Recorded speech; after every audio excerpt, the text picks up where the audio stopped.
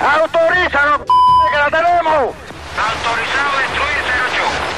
Ya te copiamos, ya te copiamos. ¡Leímos! ¡Leímos!